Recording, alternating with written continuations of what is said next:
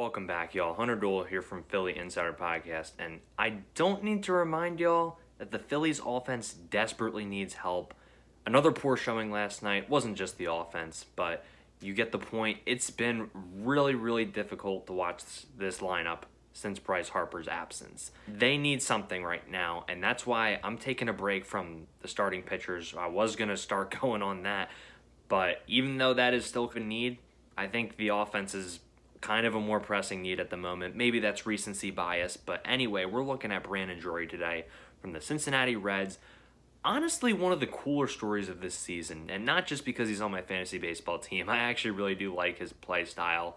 29 years old, he will turn 30 on August 21st. He was signed to a minor league deal at the beginning of this year and invited to spring training. Don't think anyone saw this coming the Reds really lucked out with how he's played, whether they want to extend him or whether they want to get value for him now while they can. Um, he mostly plays second and third base, but can play some corner outfield and can play shortstop and first base as well. The versatility is huge. It will keep him in the lineup every day. Honestly, he's going to stay in the lineup. I mean, you don't want to put him at one position. He's going to stay in the lineup regardless. He's going to he's playing well enough to just secure his job at any spot in the infield or outfield field for that matter. Maybe not center, but pretty much anywhere on the diamond. So, like I said, the the Reds may look to extend him, but Philly should absolutely gauge what the price tag is on him at the deadline. And the only reason this does worry me is because he hasn't done anything like this since 2016, 2017. Knowing the Phillies' luck, he'll come here and just cool off and, and not be that guy.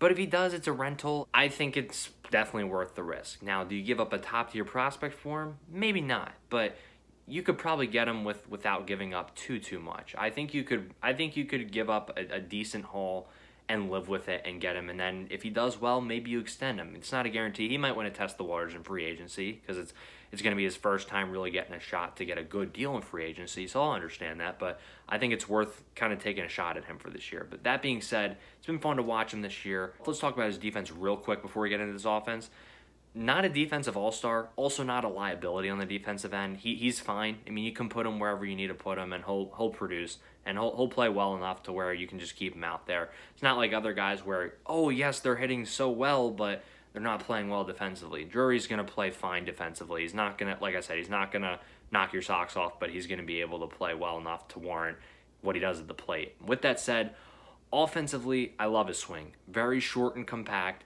stays very balanced, just gets the barrel to the baseball regardless of what pitch it is. He has managed very well even when not hitting fastballs. 12 of his 18 home runs have come off of breaking or off speed pitches. And I believe 7 have come versus breaking pitches, 5 have come versus off speed pitches.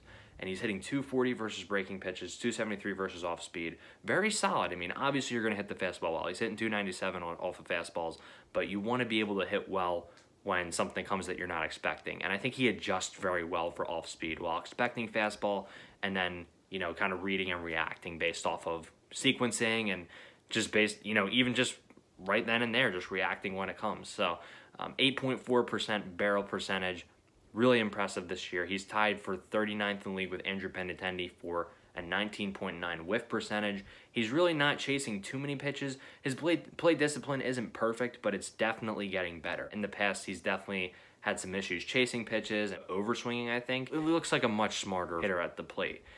Possesses power to all parts of the field. You know, he's spraying the field pretty well. You know, I, I still think he's pulling it a little bit more, but I, I don't think that's necessarily him trying to pull the ball. I think it's just he's taking pitches where they're hit. You know, I, I think it's really impressive. He keeps his head down his hands are inside the baseball, and he just lets the barrel do the rest of the work. Drives the knob of the bat to the baseball, and he's just hitting the ball. He's just putting the ball in play, driving it into the gaps, right? When you have that right center field mindset when you're at the plate, good things happen. And consistently good, good things happen. He's not one of those guys who just hits the baseball without any lift to them, right? He hits it on a line in between the outfielders consistently, and that's why he's 13th in extra base hits this year with 38 when he was in Toronto, it looked like he was double tapping his foot a little bit on his load. Look, I'm not a swing mechanics expert, but it just looked like that was messing with his timing a little bit too much.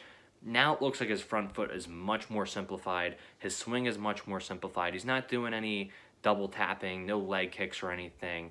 Um, he's getting a good load, good short compact swing through the baseball, and he's not trying to do too much, and it's working very, very well for him right now. Um, he's not walking a ton.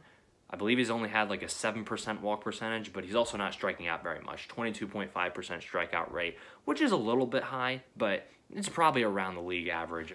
Big thing here, guys, with runners in scoring position, he is hitting 291 and he is slugging 709.